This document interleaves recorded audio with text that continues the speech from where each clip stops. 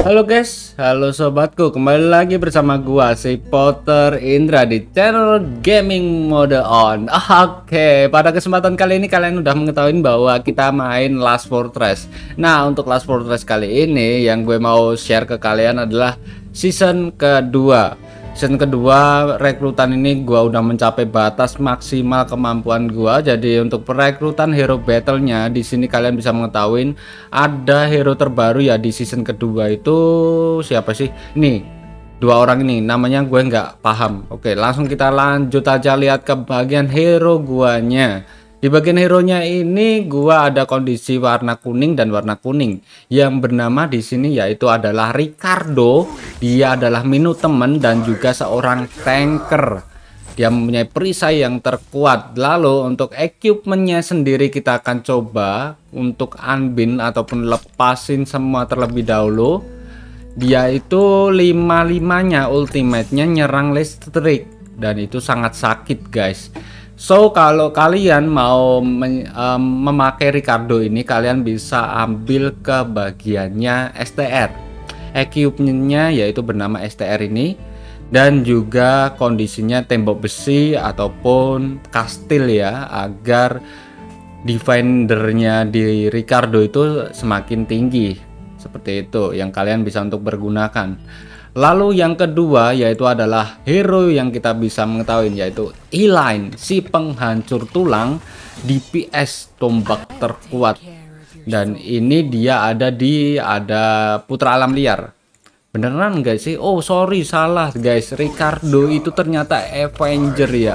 Gua ngeliat menu temennya ini gara-gara perisai tapi dia ada logonya tengkorak jadi dia adalah seorang Avenger tanker terbaru dan juga si Eline si putra alam liar terbaru. Dengan kekuatan DPS-nya ini ultimate-nya juga sangatlah bagus banget ya. Karena si Eline ini nanti dia akan nyerang lima orang-orangnya langsung sekaligus. Dengan menggunakan api topan yang sangat sakit dan itu ledakannya juga sangat keren ini kalian bisa dapetin secara gratis walaupun kemungkinannya sangatlah kecil sekali.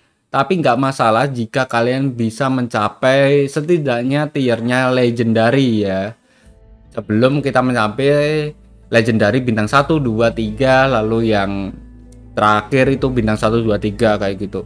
Ini memang susah banget. Gua lagi kondisi yang emas naik eh epic ke epic terus jadinya kuning itu makanya nggak skillnya itu nggak kebuka semuanya guys.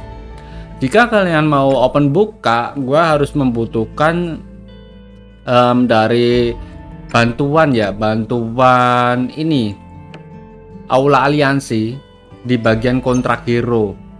Tapi secara kita gratisan kontrak hero itu cuma bisa digunakan satu. Kalau kalian mau dua ya otomatis kan beli 1,5 juta itu namun gua nggak merekomendasikan bagian itu.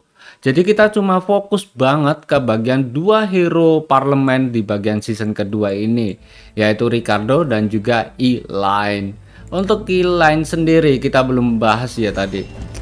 Dia itu kondisinya kita lihat terlebih dahulu karena dia seorang DPS dengan equipment hero nya kita lepas maka kalian harus membutuhkan untuk equipmentnya apa ini INT dari kita bisa melihat INT dia 225 so kalian bisa ambil untuk equipment INT ini ke bagian inline seperti halnya kematian. Attacknya akan bertambah 6% lalu kalian bisa menggunakan kiamat juga yang kondisinya INT ya.